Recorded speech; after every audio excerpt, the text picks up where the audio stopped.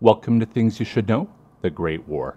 Today we're going to talk about the Battle of Mons, fought between Germany and the United Kingdom's British Expeditionary Force, located in Mons, Belgium on August 23, 1914.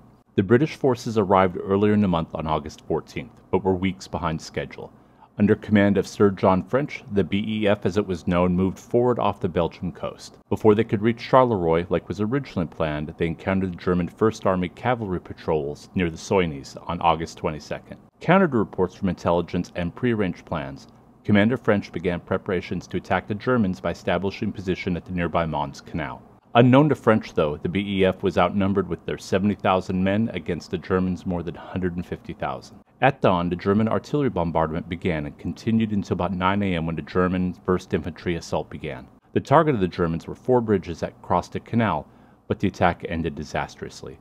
One example of this disaster is the German troops at the Nimy Bridge approached in an almost parade ground formation, leaving them easy targets for the British riflemen, machine guns, and artillery. The Germans attacked again that morning, this time using an open formation that was more successful, allowing the German troops to spread out and were harder to target. The BEF was outnumbered at the Nimy and Ghlin bridges, and they were only able to maintain their positions due to the bravery of two different machine gunners. The Nimy bridge was defended by Lieutenant Maurice Dease of the 4th Battalion Royal Fusiliers. He maintained his position and was wounded five times, but he still held the Germans back. Sadly, he died later at an aid station from the fifth wound. At the Ghlin Bridge, Sidney Godley covered the rest of his men retreating. When it was time for him to retreat, he threw his gun into the canal and surrendered. Both Dease and Godley received the Victoria Cross, the first awards given out for the war. The British did end up retreating that afternoon to the south of Mons, establishing a new defensive line running through several villages. The Germans in turn had built pontoon bridges across the canal and were approaching these new lines en masse. These actions repeated multiple times until nightfall on August 24th the BEF retreating and setting up new positions while the Germans pursued. The Germans continued to attack, and this began what was known as the Great Retreat. For the next two weeks, the BEF were pursued by the Germans over 250 miles of land. The BEF lost more men in the next two weeks than at any other time since the American War of Independence. Both sides did have some success.